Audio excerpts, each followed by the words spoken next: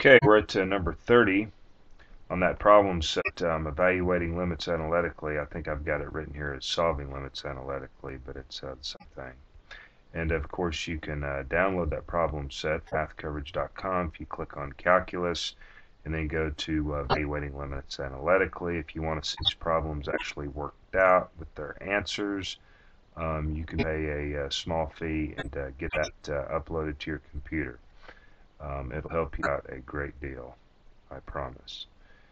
Okay, so with number 30 here, we take the limit of sine of pi x as x goes to 0. So we're just doing the direct substitution, and we're plugging 0 in for x. And so we end up having the sine of pi.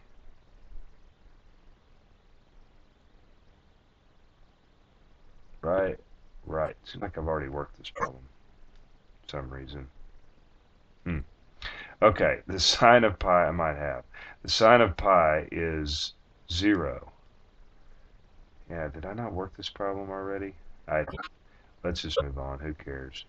Okay. Um, number 31, we're taking the limit of tan theta as theta approaches 3 pi halves. And so what I like to do is uh, convert uh, things to sine and cosines.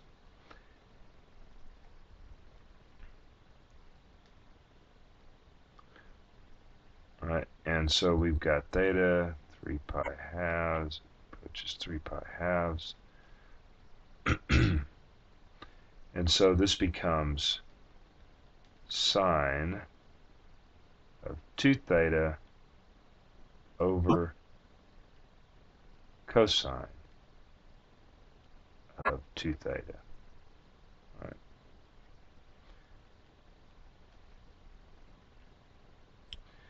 Scrolling across the screen. So now I'm going to uh, plug in 3 pi halves directly into this. So we have the sine of 2 times 3 pi halves and that's all over the cosine of 2 times 3 pi halves right? And rewriting all of this. So we end up having the sine of 3 pi over the cosine of 3 pi. Right. All right, equals 2 here. and so the sine of 3 pi is 0, and cosine of 3 pi is negative 1. And of course, final answer is 0. All right. Uh, move to number 32. All right, so we just uh, do the direct substitution, plugging 0 in for x, and so we have e to the 0, and then cosine of 2 times 0, and e to the 0 is 1.